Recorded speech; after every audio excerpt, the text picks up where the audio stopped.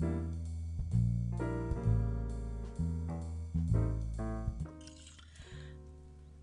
Hey guys, it's Debbie with Debbie J's Crafting Corner. Today I'm making another dimensional flower card and I'm wanting to show you guys this time that it's really not as um, overwhelming or stressful as you might think because these are some really pretty and realistic flowers. This is paper. This is not a real flower. So what I have, what this is, this is me. Um, I am just like you guys. Sometimes I get overwhelmed with new things when I don't really know what I'm doing yet. And what I found with these kind of flowers or these kind of cards is that I've not done a lot of them. But then once I follow the instructions, it's not that big of a deal, but it's still in the back of my mind. I'm thinking, oh my God, this is going to be hard. And it's actually not. I found a trick that I'm hoping is going to help you guys. I mentioned it on a recent um, little mini live stream, and I'm hoping, like I said, I'm hoping that this is going to help out.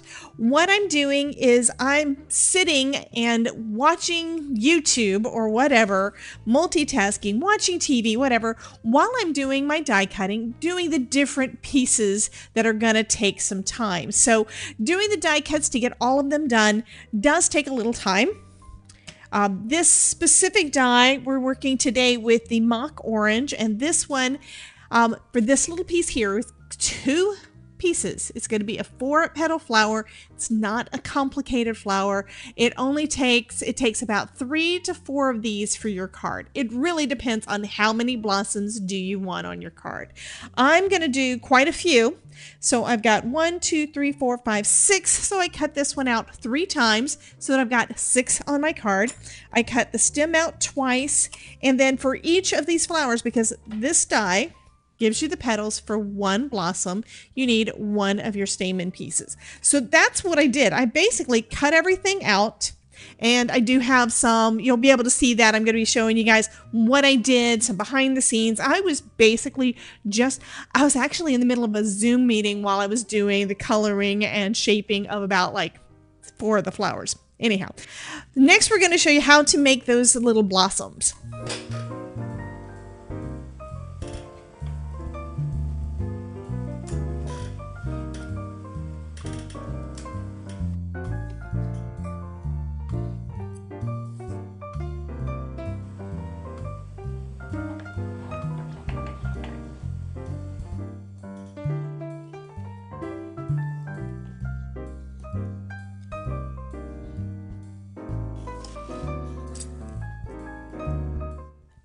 So I'm doing the very first batch that I had cut out using my die cutting machine while I'm watching Susan Tierney. I will leave her video here. Um, she is the expert when it comes to all things paper flowers, mostly because she is a gardener herself. She knows all these things. My knowledge of plants is basically what telling my husband that he's making up words. Anyway, um, I'm using a um, dark brown for the stem. I used, I'm using my Spectrum Noir. I used EB7 for the stems. And then I'm using a couple of colors of green. And I don't think I saturated the paper nearly enough because I did have a little bit of a demarcation line and took me a little while to get that blended out, just like regular alcohol marker coloring, right? Um, I used AG5 as the lighter and JG6 as the darker. So I'm coloring up all of the leaves, basically having the darker part near the stem and then going a little bit lighter when we go out towards the edge of our um, little leaves here.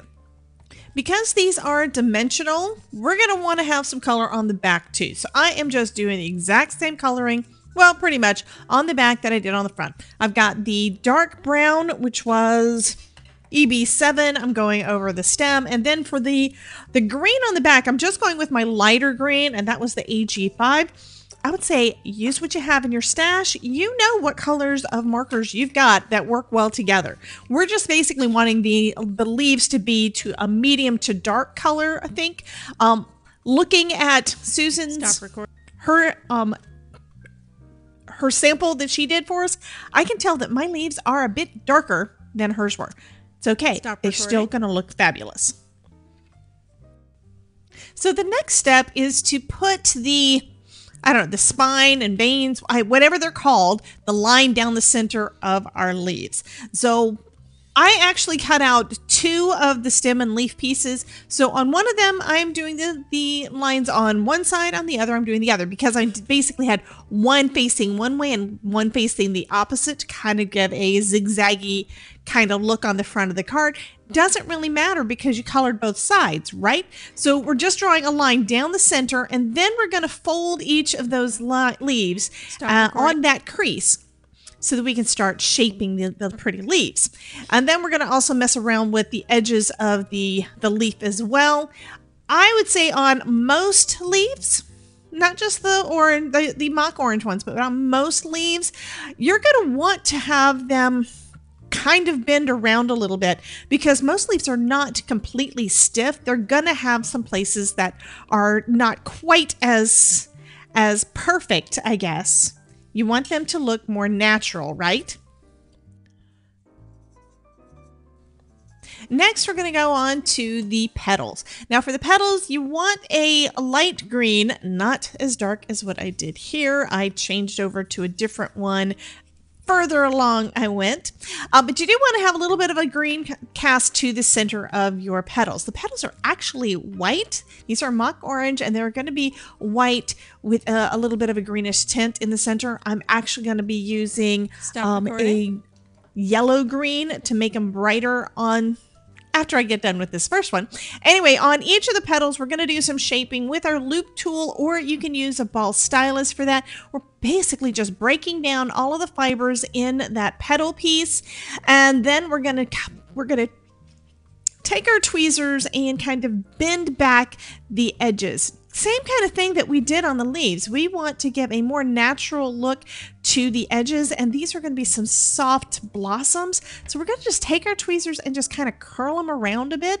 I played a bit with mine. I wanted them to be even softer looking and I'd say that the more you rough up those edges, the more that you curve them around and break down those fibers, the more natural they're going to look.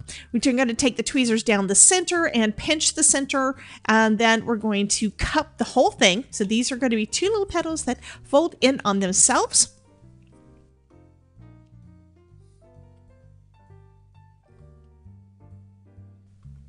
Next, I'm adding a little bit of liquid glue to the cupped end, and I'm going to place that in the center of our other two petal piece. And it's going to basically create a little cross. So this is a real simple four petal flower. I think it is just lovely. Now that we've got that one done we're going to play with the stamen. Now the stamen first off the size of the dies kind of makes it so they can only make our little um, stamen pieces so thin so what we have to do on these to make them fuller to make the whole stamen bundle fuller is we're going to cut down each individual stamen, trying to stay as close to the center as we can.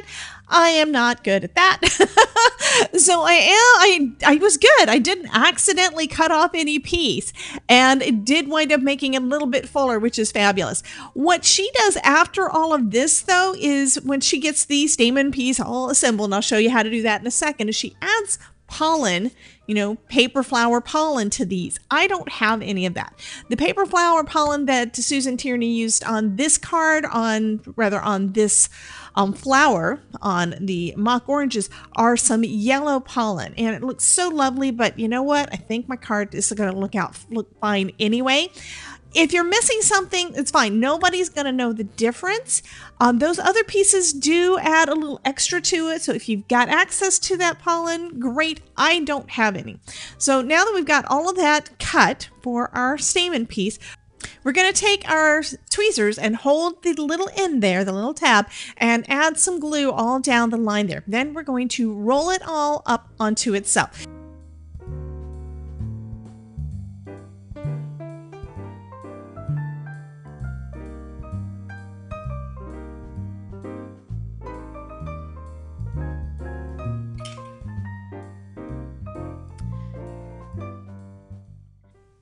Next, we're going to add a little bit of glue in the center there and add our stamens and let it sit off to the side to dry. This is a great way to do these. I basically just knocked them all out in basically no time at all. And yeah, gave them all a chance to dry a little bit before putting them down on my card. I think this turned out so cute. So now that all of my blossoms and everything is all done, the the flowers are all complete. I'm going to go ahead and put it all together on a card. This piece here is a leftover scrap from an embossed panel that I did with the embossing folder of the month for February 2024. And I used half of it on another card. So I'm just going to use the other piece. Actually, I used less than half of it on the other one. That's okay. I'm going to use the rest of it just down the center of my card. It's going to give a little bit of color behind the background. And I think this is kind of the way that I want this card to look. So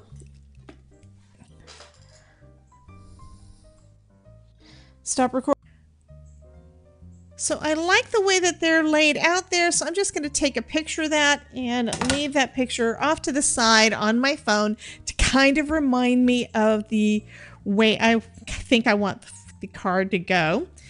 Now, this one was really nice because we've got our stem and our leaves all on one piece instead of individually. So I'm just going to add, and the way I did that, I actually shaped the, the leaves so it's facing one way on one side and one way on the other. So one of them is right side up and one of them is going to be right side down. That's okay. I'm going to add the some glue to the back of the stem. And I think I'm going to leave the leaves for now anyway.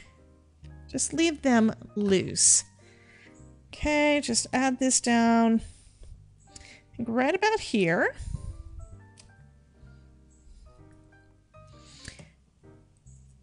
And then before that really has time to catch, I'm going to, yes, that's going to be perfect. Add some glue to the back of this one and do the same thing going in the opposite direction.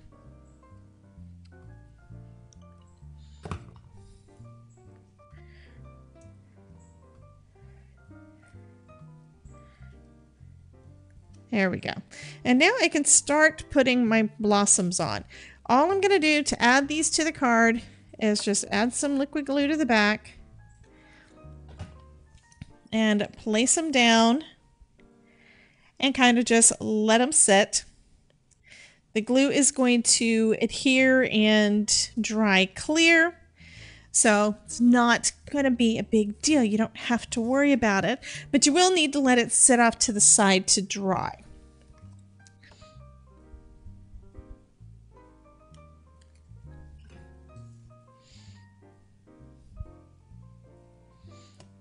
I think these are just super pretty. I did change my mind on coloring. Um, instead of using the lightest green that I used for my leaves on the inside, which is what when Susan Tierney said it, she was actually talking about the pollen, or I'm sorry, the um, she used on hers. She used some pan pastels. I did not. I just used the um, I just used alcohol ink, just my alcohol markers. So yeah, hers are going to look a little different than mine. And she said to use the lightest green from her pan pastels, and I took that to mean that it would still be fine to use the lightest color of my green marker, and I've decided that I don't really like it as much. so instead, I wound up coming back with another color of green from my stash that I think looks better. So I do have one blossom that's a little bit too green in there, and the other ones I think look much nicer with this, this lighter shade. This one was the YG2 that I wound up using for the rest of them. But if I hadn't have told you, you probably wouldn't have even noticed. Okay, so I've got two up top here. And I think I'm going to add a third in the center over here. Because these type of flowers do wind up coming in bunches. So just adding that one down. And like I said, I'm just going to let it sit to the side and let this dry. And then I can add, actually, I'm going to go ahead and add my sentiment on.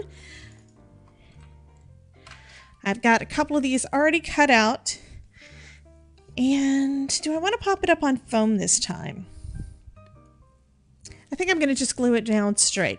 This is Thanks for Your Friendship, and it's from the Clear Stamp and Die of the Month for February 2024. That was that lovely lily arch. And I think that that sentiment is just perfect. So I'm going to let that dry and then share some finished photos with you guys.